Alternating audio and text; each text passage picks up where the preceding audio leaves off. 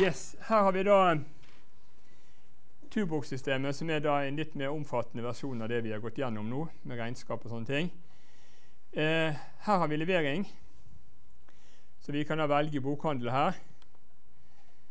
Og så kan vi velge produkt. Og så kan vi eh, fortelle hvor mange bøker det er, og så gjør vi en levering. Her er regnskap. Og eh, vi skal nå fakturere, så jeg trykker 'fakturering'. Og det her er det ekte systemet, da. For Jeg håper at det er noen som eh, vi ikke har fakturert, men det er mulig fakturert der forleden dag. Eh, skal vi se om det er noen som krysser av. Hvis ikke skal vi bare lage noe Det, det, det er litt problem med sånne små skjermer. Skal vi se.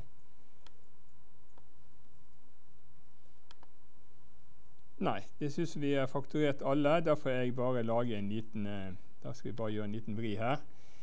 Vi skal bruke Laget ikke jeg en kopi nettopp?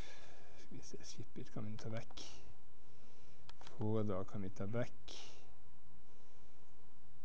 Tubok Da er det laget Der kopier tubok, ja. Yes, Da må vi utføre en levering først. Og vi får levere til Ark Bekkestua. De kjøper sikkert turbok på sydenferien. De skal ha fire stykker. Det er standardpris.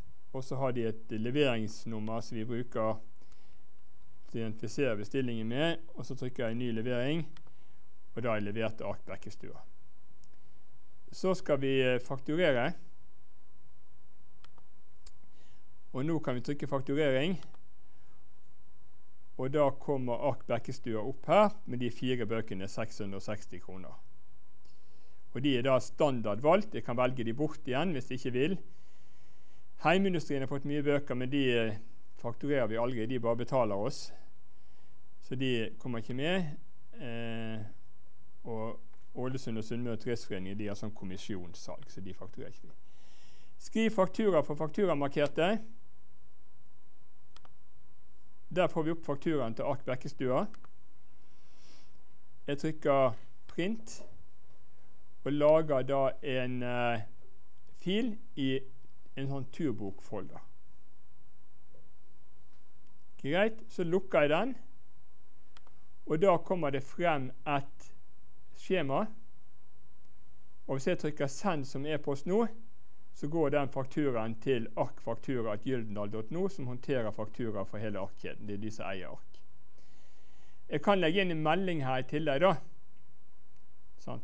Og jeg lurer på kan jeg endre den. Jeg håper her går bra, da.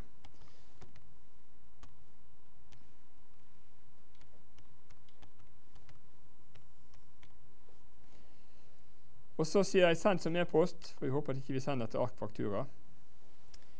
Da kan vi gå inn Nå har jeg fått faktura fra Turbokforlaget, har jeg fått beskjed nå. Eh, skal vi se hvor er ba, ba, ba. Hvor er Alt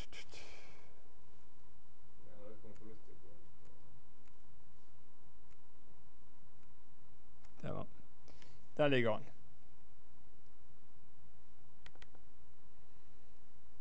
Faktura vedlagt med vennlig hilsen bla, bla, bla, bla, bla. Her er fakturaen til Ark Bekkestua. Heldigvis kom han til meg og ikke til Faktura Gyldendal. Fire bøker, 660 kroner. Moms lagt på i tillegg, 825 til sammen. Så står det pjatt, pjatt, pjatt, og så er det vårt organisasjonsnummer og sånne ting på bunnen her nede. Så sånn virker systemet. Ok. Eh, det vi skal se på nå, det er Det er hvordan vi gjør det her. Og da tror jeg jeg går inn i denne her eh, kopien. Og nå er vi i Aksess 2003.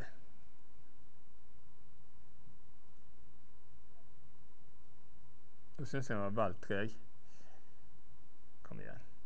Der, ja. Vi skal se på hvordan vi sender faktura her. Så vi går i designmodus på denne her.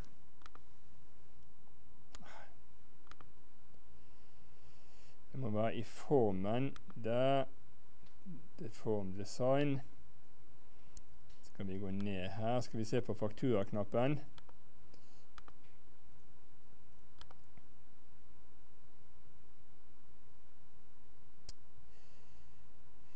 Hvor ble properties av? Det, det, det, er forferdelig tungvint. Der var han nede i hjørnet og arbeidet på sånn liten skjerm.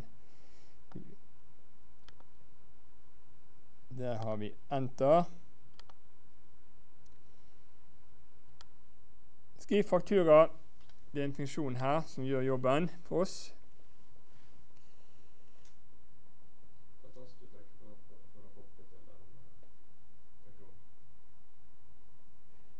Husker ikke jeg.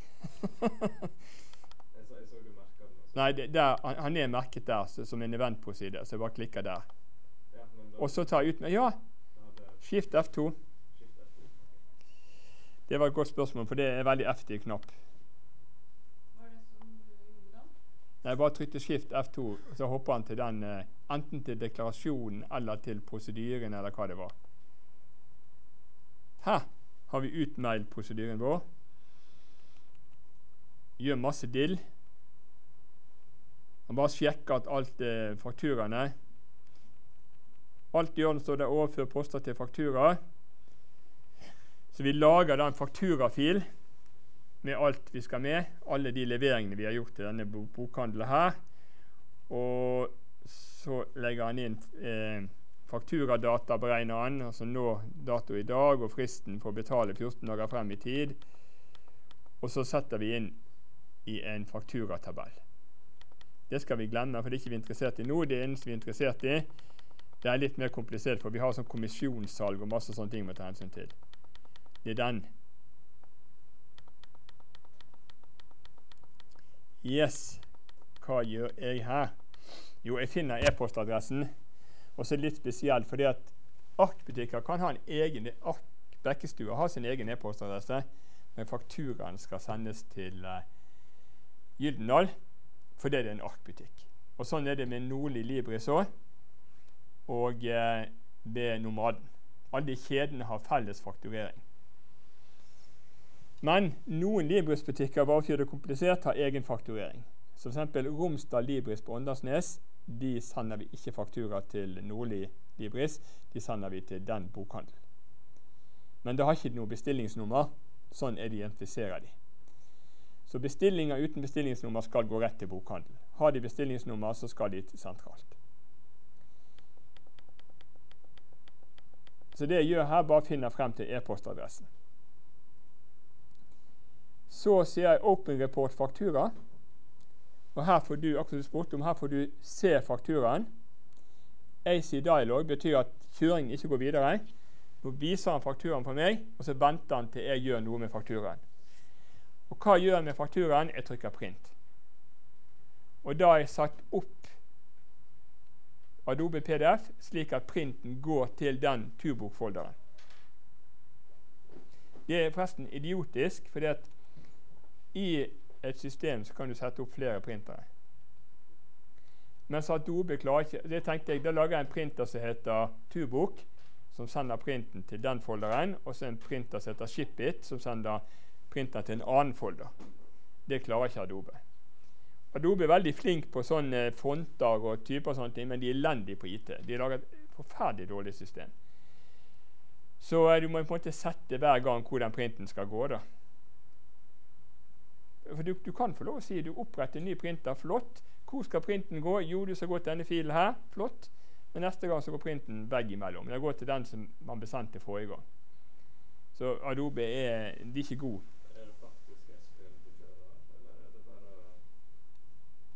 Eh, her Hva gjør jeg setter liksom filnavnet som string. Ja. Men bruker du egentlig SQL-databasefunksjoner her, eller er det bare at du bruker om igjen variabler? Uh, vent, hva, hva du tenker på? Der sjekker filen eksisterer. Ja, ok, men altså, ta den først. Vi åpner rapporten faktura med det aktuelle fakturanummeret her. sant? Og i dialog-modus betyr at vi ikke gjør videre. Vi, for ellers vil det Aksess gjør til vanlig, er å åpne rapporten og så få sett i programmet. Sånn gjør det med skjema òg, så det må vi passe på. Her vil ikke jeg gå videre. Hvorfor det? Fordi brukeren må få tid til å stoppe opp, se på fakturaen, printe skjemaet.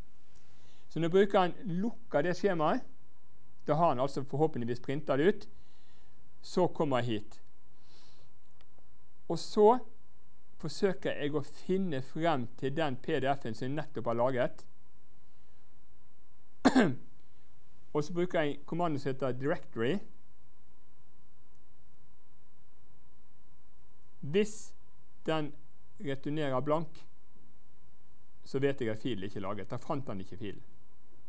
Og skriver jeg 'fil ikke laget', valgte du print PDF, sjekk directory og forsøk på nytt. Og så åpner jeg fil en gang til.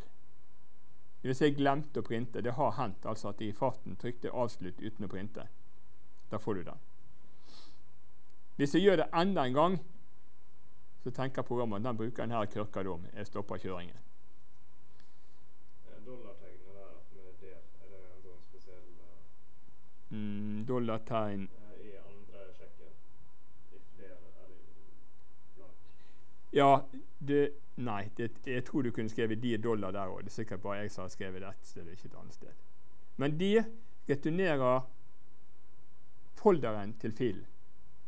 Ja, hvis den ikke finnes. Ja, og hvis den ikke finnes, så er den blank. Det er andre måter å sjekke fil ikke finnes på, men det er, en, det er en enkel måte å gjøre det på. Så nå vet vi at filen finnes da når vi kommer ned hit. Da åpner vi skjemaet som heter fakturamelding. Det var det dere så med den grønne e-posten der oppe. og Da kan brukeren legge på en ekstramelding. Sant? NB, sant? husk å betale det her, eller det her var den forsendelsen vi sendte i går, eller hva som helst. Så vi er opp til skjemaet. Og det er også med eh, dialog-modus, hvor vi vil at brukeren skal svare på det.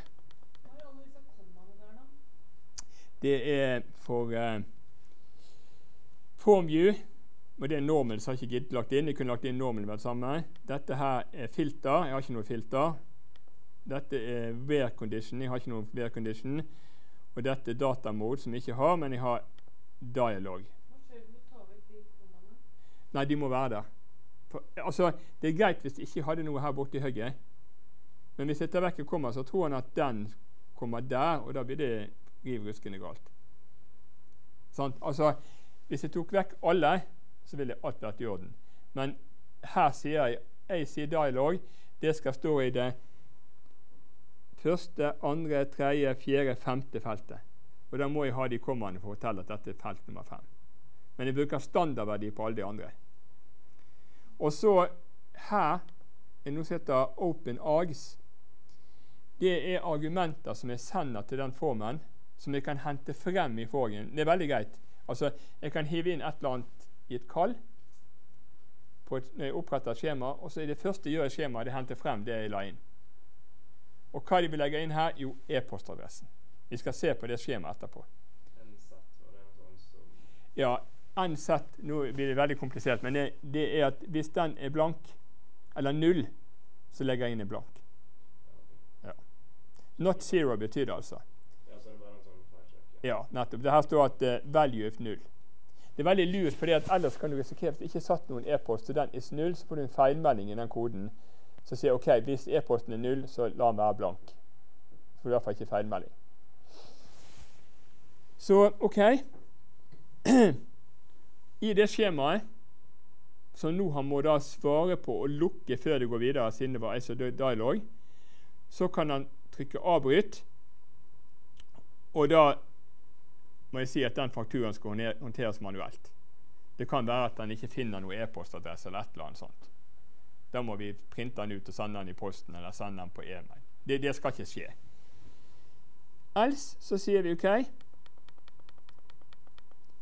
E-posten er melding e-post. Det er den som kommer tilbake fra den, eh, den der. Setter noe som heter melding e-post. Hva er det for noe? Jo, inngående e-post i det eksempelet vi så var ark faktura, er endret til Kai Olsen. Da er melding e-post Kai Olsen. Så send faktura skal sende fakturanummeret dette nummeret, til denne e-posten her, og så er det noe sånn feilmeldings. Så det er det her som gjør jobben. Skal vi gå og se på den. Skift F2. Og her lager vi en Outlook application. Og dette, hvis man eh, skal forstå det, det er det én ting, men man kan jo bare kopiere det fra en annen applikasjon. Så lager jeg en melding, en Outlook-melding her. Dette er standard. Og så sier jeg, hvis det er fakturakjøring Da må jeg ha en e-post, eller si en feilmelding her.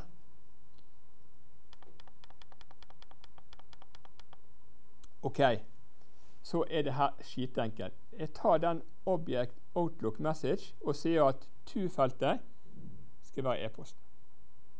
Subject skal være faktura fra turbokforlaget, fakturanummer Setter inn fakturanummer. Meldingsdelen, bodyen av meldingen, er faktura vedlagt. Bla, bla, bla. Bla, bla, bla. Turbokforlaget, Kai Olsen og så hele greien som dere så i den meldingen. Og så sier jeg her oppretter en sti til den PDF-en, og så sier jeg 'add attachments'. Hvis det her går til helvete, så får jeg den feil i attachment-meldingen. Men jeg har jo allerede sjekket den å finne, så det skal ikke gå til helvete. Så her, så enkelt, dot attachments, add, filnavn, så legger han til PDF-en på meldingen min. Så Outlook-funksjonene ligger i Access fra før? Det er Ja, hvis du har Outlook installert på maskinen, så jeg kan ikke bruke det på den maskinen her, for jeg har ikke Outlook installert, men jeg kan bruke det her, for det er Outlook installert. er og- Ja, og når du installerer Outlook, så får du med deg de modulene som Outlook bruker for å sende mail, men som du også kan bruke for å sende mail. Og det er jo det som er fantastisk med Office, at de modulene kan brukes av alle. Sant? Så jeg tipper når du sender mail fra Word, så bruker Word disse modulene. Sant? Du kan trykke 'send' i Word og sende et Word som, som mail, men nå bruker vi de modulene. Og så trykker vi 'send', og så sendes meldingen. Veldig enkelt. Og så har jeg vel noen andre Jeg bruker her, denne prosedyren i andre sammenhenger, men det, nå er det fakturakjøring. Da bruker jeg den. da. Så så enkelt er det å sende mail. Så hvis dere har bruk for noe av det her, så kan dere gjerne kopiere den rutinen og sende til dere. Ja. Men det er selvfølgelig mye ekstra her. da, sant? Bla, bla, bla. Masse nedover her. Men du, du kan så på nett og si 'aksess, send mail', og så vil du finne et eller annet. altså. Altså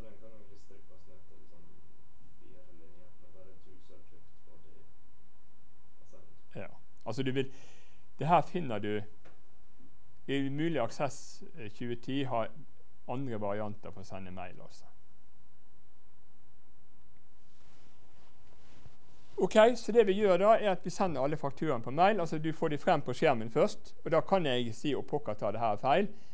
Men hvis jeg sier det rett, så printer jeg, lager en PDF, går automatisk til en folder, lukker printskjemaet. Da kjører dette programmet videre henter frem attachmentet fra folderen, kobler det inn i en mail som det sender til ark, faktura eller hvem det måtte være.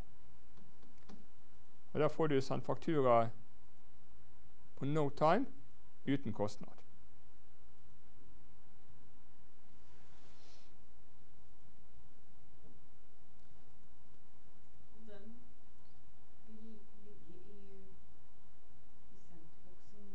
Ja, det er også en fordel når du sender via altså Hvis du ikke har Outlook installert på maskinen, så er det også mulig å sende mail.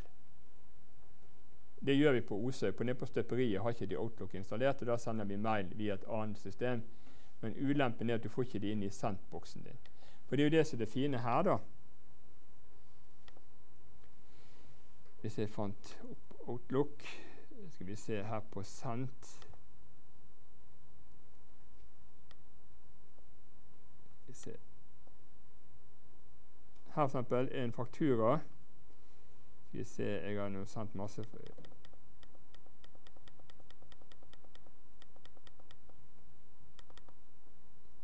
Her er en faktura som jeg har sendt. Fikk du ikke den som du sendte til deg sjøl også? Jo. men her ligger en, det her har gått til arkfaktura. da.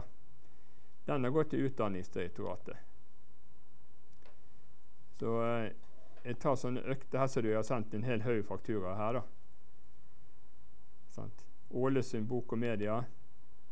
Sånn ser fakturaen ut. Så eh, utrolig effektivt.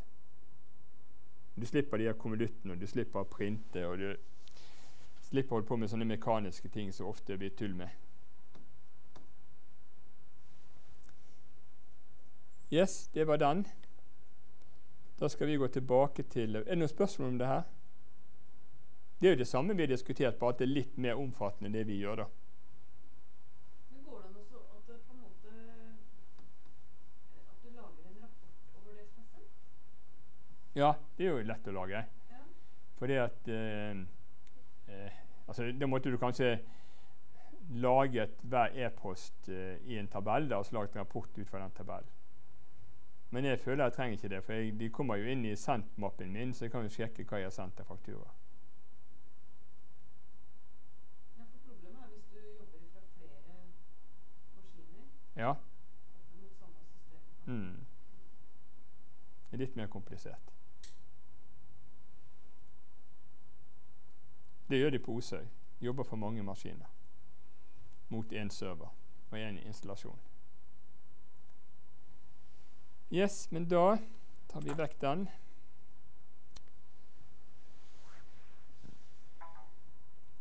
Og da kan vi lukke den. Den. Og så tar vi på den.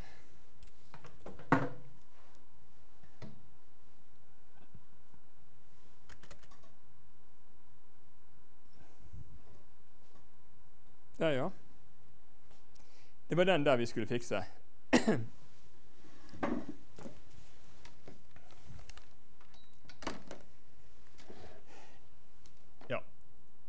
Kunne jo vist hvordan disse bestillingene kommer. De kommer inn på akkurat den måten der, da.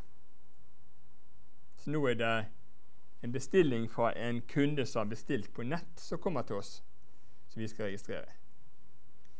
Her er programmet. Eh, vi kan legge en ny form da, siden vi skal programmere nå. For det ligger. Jeg skal se hvor god tid vi har. Nei, 20 minutter skal vi klare å lage dette programmet på. Ny form. Ok, vi skal ha en boks. Tekstboks. Vi kan bruke en vanlig tekstboks der. Og så sier vi uh, Lim inn bestilling. Fra og med navnelinje til og med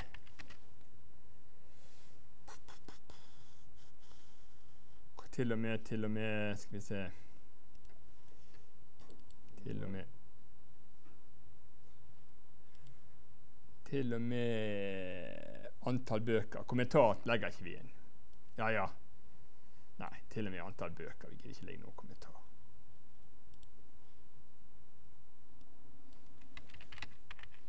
Sånn, det er en god ledtekst. Og hva skal vi kalle denne her? Vi kaller denne her for tekst tekstbestilling.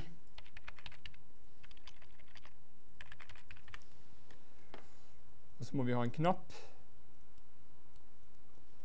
Og den knappen skal hete 'lagre bestilling'. Og Den skal lages da i bestillingstabell. Sant? Det er det som er jobben vår nå. Ta det fra det ene formatet og lage det inn i eh, et annet format.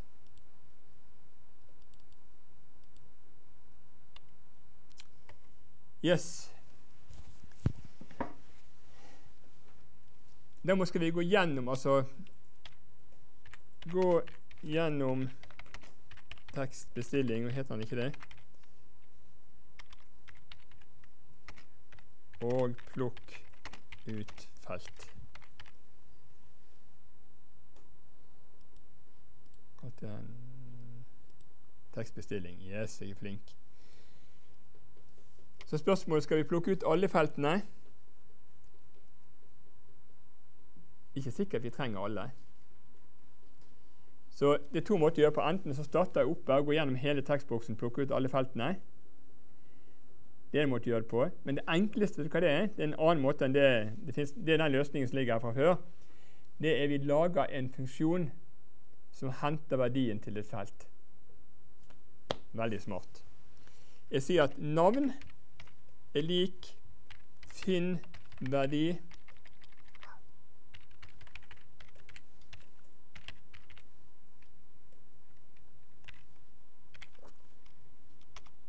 Finn verdi skal returnere det som står i navnefeltet. Da må vi deklarere navn.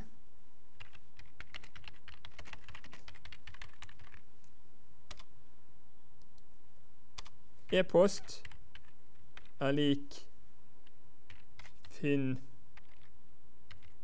verdi Nå må jeg se om det het e-post. E-post med bindestrek. Det er vel sånn det skal skrives på norsk. Likt. Uh, og så heter det der. Og så er vi interessert i bok.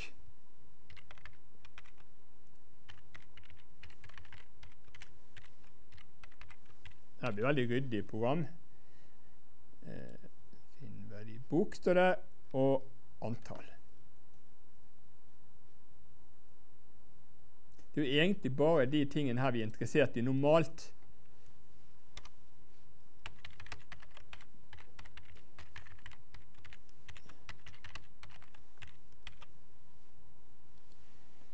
Hvorfor det? Jo, fordi at Under normale betingelser så betaler de her folkene på bøkene sine, men telefonnummer trenger vi bare hvis de ikke betaler om å purre. sant? Og adressen trenger vi egentlig ikke leveringsskjema, for den skal vi skrive utenpå konvolutten likevel. Så her har vi et litt mer fleksibelt system.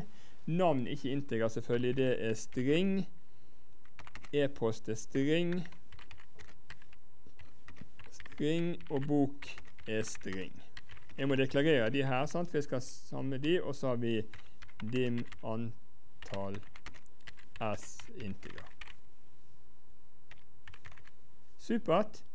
Da er vi i boks, så skal vi bare lage den her. String SQL er lik insert into levering Jeg tror vi hadde et sånt skjema her som het levering.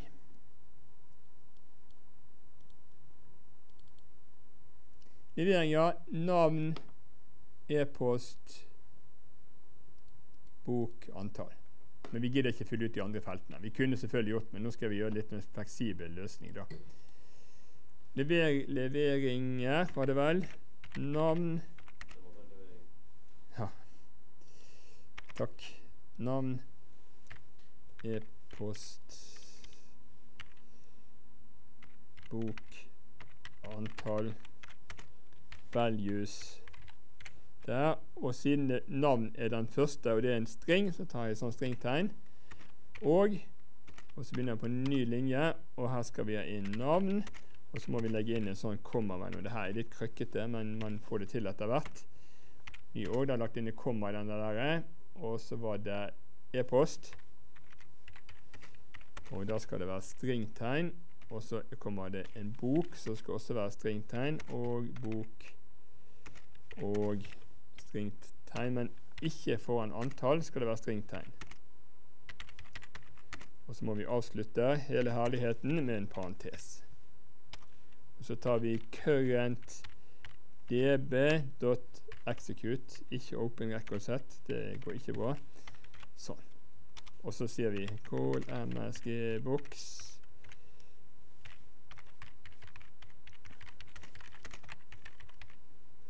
Og så syns jeg kanskje at vi bør sette denne der eh, tekstbestilling til blank, så ikke han skal finne på å trykke to ganger.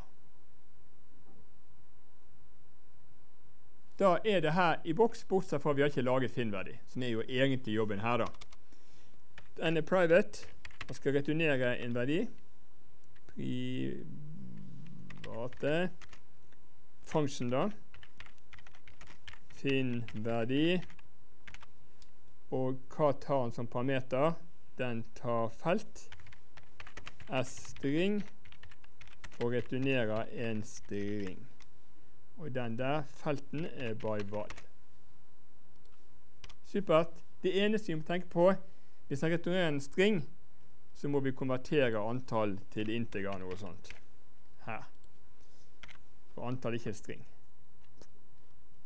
Hva skal han gjøre? Jo, denne eh, funksjonen skal lete gjennom tekstboksen vår til han finner det feltet.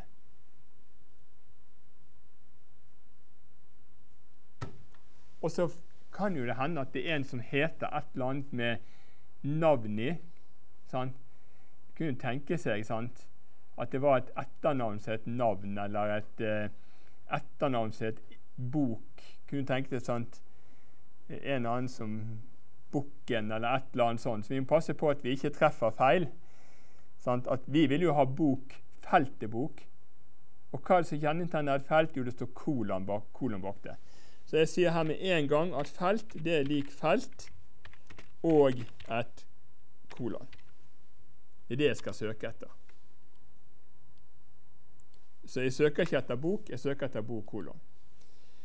Ok, vi leter fra begynnelse til slutt. For i lik 1 til lengden på tekstbestilling. Det er én måte å gjøre det på, og så slå til når jeg treffer. Det er en annen måte å gjøre hva det er. Den billige måten. Innstring-funksjonen gjør jobben for oss. Fra en Hva er string 1 og hva er 2? Jeg tror denne er tekstboks. Er det den string 1 og string 2 ikke helt god? Felt sånn. Den er lur, vet du. Ja, det er ikke på mer enn 16 000, den. Så det jeg gjør jeg latt innstring lete gjennom bestillingen etter dette feltet. Den billigste måten å gjøre det på. Vi kunne gjort det sjøl, men det er litt kode. Unødvendig. If i lik null, den call msg boks ukjent felt. V ble critical får du en sånn pling og en sånn stygt symbol.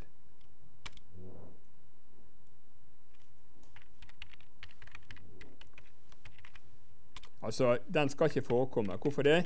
Jo, fordi at det eneste stedet vi oppgir det feltnavnet, det er nedi her.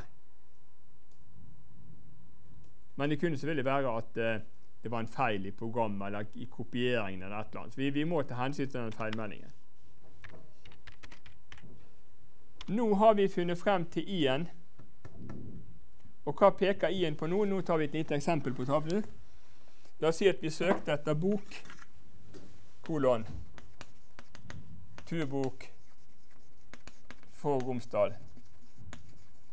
Da er, peker i der. Men vi vil jo frem til dit. Og hva er det som er Jo, det er lengden på feltet vi skal legge til. For vi skal ikke starte derfra, vi skal starte herfra for å finne navnet på boken. Så da sier vi at i er lik i pluss lengden på felt. Yes, da er vi på da er i startverdi. Og så spørsmålet hvor langt ut skal vi lese? Hva er det som stopper det her? Jo, det er en sånn VB Carriage Return, håper vi. Så nå skal vi lete etter den. da sier jeg at J Nei, jeg sier for J lik I til lengden tekstbestilling. Jeg leter helt til slutten av den. Jeg skal finne if mid string tekstbestilling. Kassa start j,1 hvis det er lik vb carriage return. Jeg håper det er sånn. Den tester i hvert fall det. Den exit for. And if and J. Det er bare én ting som bekymrer meg litt. For hver av de her så har jeg en linjeskift ytterst. Men det er jo ikke sikkert På slutten står det antall fem. Det er ikke sikkert jeg har linjeskift der. Vet du hva jeg gjør? Istedenfor å sjekke om jeg er på slutten. Det første jeg gjør her, det er å si at tekstbestilling er lik tekstbestilling og BB Kæreskutøren. Det er veldig lurt.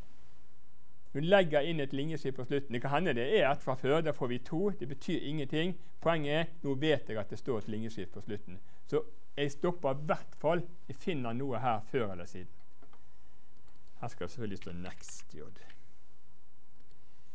Da, hva er det som er verdien her? Jo, finn verdi. Den er lik mid av tekstbestilling fra i til j minus i.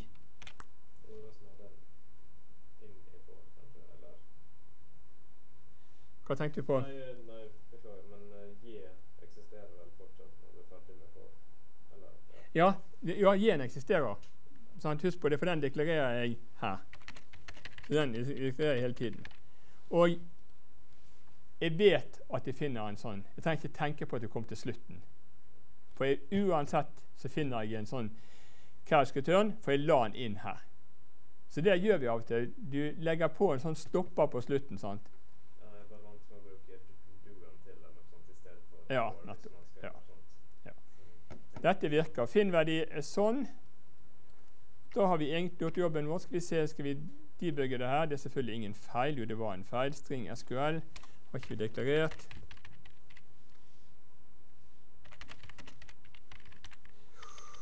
String. Det var ikke mye feil. Lage ny levering. Yes.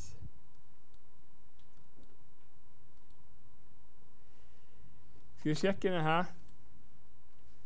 Navn Kai Ja.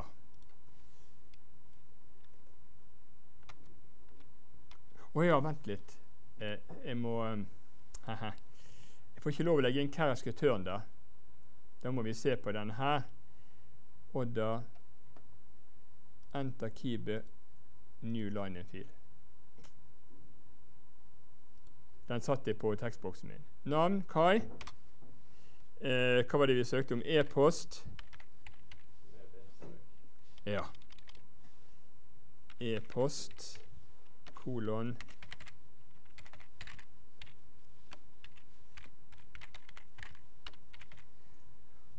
Kæreskutøren, og så var det via bok kolon Det er dumt om jeg å kjøpe mine egne bøker, men det er en annen sak.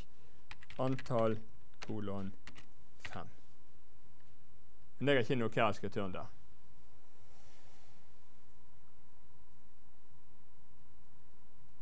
Ja, vi må kanskje sette på en debuggingsmodus her.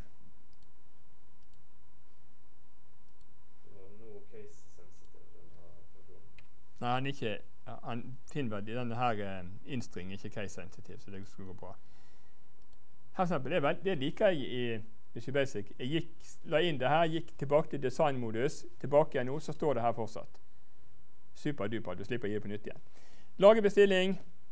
Vi legger på en ekstra kæreskutør på slutten. Det var lurt, for jeg hadde jo glemt å legge inn den. Finn verdinavn. Vi legger på en uh, kolon på feltet. Ellers er det litt risky å søke som sagt på bok, navn, antall. Det kunne hende at det, de ordet forekom, eller de bokstavene forekom et annet sted, f.eks. inni et navn. Men kolon er vi safe på. Hva er i-string her? Den er 1. Det høres fornuftig ut. Vi fant navn i første felt. Er fil lik null? Nei. I er nå lik seks. Én, to, tre, fire, fem, seks. Det er K-en. Supert. Vi leter. Syv. Nå håper jeg finner den exit foran her. Den fant jeg altså ikke.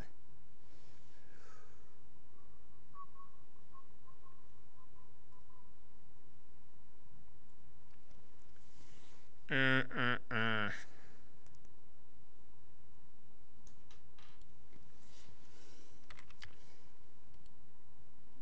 Vi må gå tilbake, for det, det er ikke eh,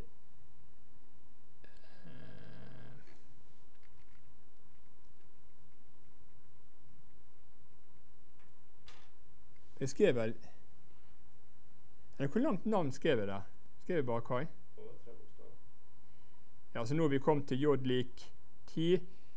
Vi 1, 2, 3, 4, 5, 6, 7, 8 Vi skulle funnet det allerede nå. sant? Ok, Da forsøker vi på VB Linefeed. da.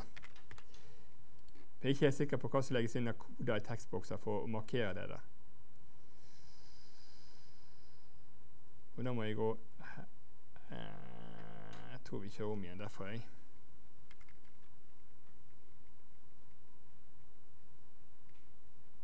Nei, jeg finner ikke den heller.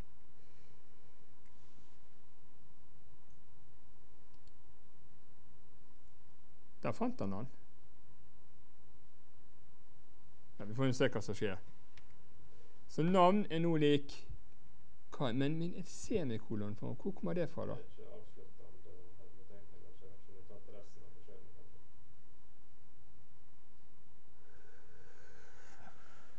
Det skal ikke være noe semikolon inni den der eh, tekstboksen vår, sant?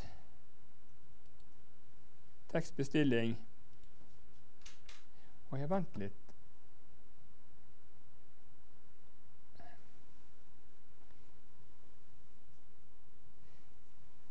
Vet ikke hvor det er semikolontegnet kommer. Er det fordi det er en string? Hvor er semikolon? Nei, eh, a, apostrof, mener jeg. Beklager. Apostrof Kai. Men det er bare for å vise det. Vi får se. Den viser jo hermetegn rundt stringverdier. Men den viser ikke avsluttende hermetegn. her, Så jeg går ut fra at den har tatt hele beskjeden. Bare at du får se bare første linje. Eh, Ja, det er rart du ikke får Vi skal se om det her går bra, da. Det, det som forvirrer meg litt, at det står et eh, apostrof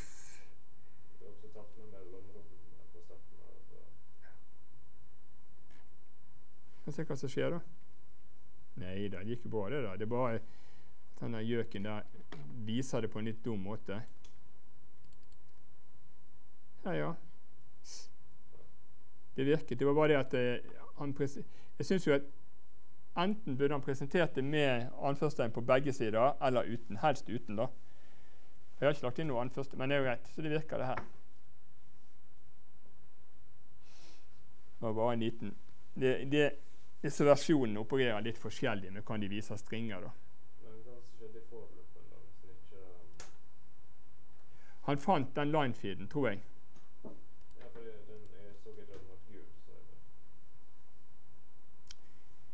Nei, vi kan godt kjøre om igjen. Det går helt fint. Vi har allerede lagt på den der. Ok, Nå er i lik 6. Og det stemmer. Det er K-en, sant? 1, 2, 3, 4, 5, 6. A. I. Og så kommer det Der hoppet vi ut. Så det ligger noe rusk foran den der som legger inn. da. Det er kanskje first in character turn og sånn live feed. Det ville sikkert gått. Kan du ta med mellomrommet som står etter eh, forløpet? Ja, vi tar med mellomrom der. Det vi kunne gjort hvis vi ikke ville ha mellomrom, ville være å skrive trim. Da tar han vekk eh, mellomrommene. Ja. Fikk vi en ny levering. Men det virker, det her. Hvorfor fikk vi bare Fikk vi en til? Å ja, fordi at jeg har skjema oppe. Beklager. Nei. Der har vi begge to. Der fikk vi vekk stringen andre gangen. Det var sikkert litt lurt. Men en trim tar vekk blanke foran og bak i en string. Og siden blanke ikke er signifikant her, så er det helt greit å ta det vekk. Så vi tok de vekk i navnet, og vi tok de vekk eh, her. Og i turbok. Så det var egentlig lurt. Den er ikke så pen, den der. da. Sletter den. Spørsmål? Ja, prøv å ta klipp på liv, da. Hvor skal jeg klippe fra?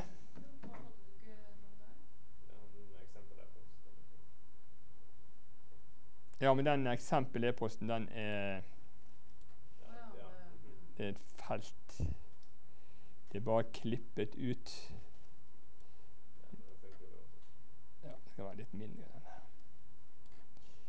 Sånn var meningen å gjøre det. Eh, ja Jo, men vi, vi har jo Nei, vi har ikke et minutt, men vi kan gjøre det på det minuttet vi ikke har. Nei, da må jeg inn på høyskole og webmail og sånne ting. Det, men vi kan lage noe som ligner på denne her. Vi kan teste programmet vårt en gang til. Ok, Si at vi oppgir feil rekkefølge, da.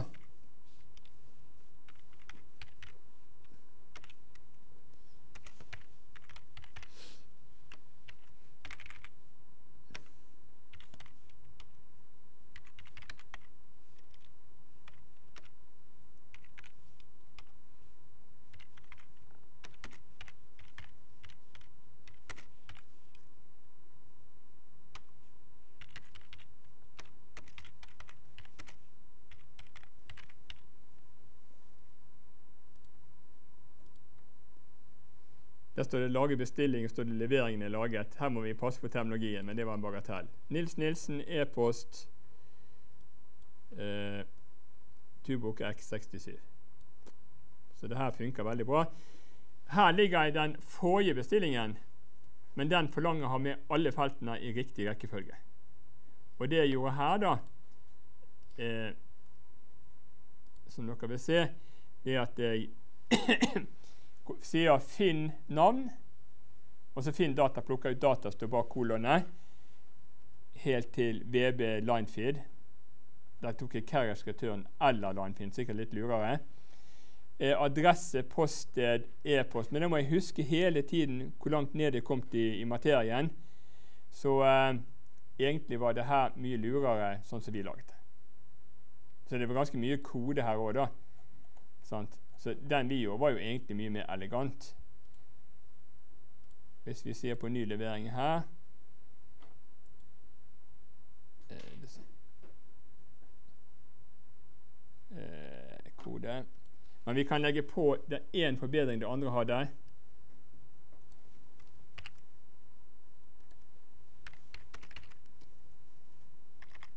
Hvis det er linefield eller carriage return, så en av de så hopper vi ut.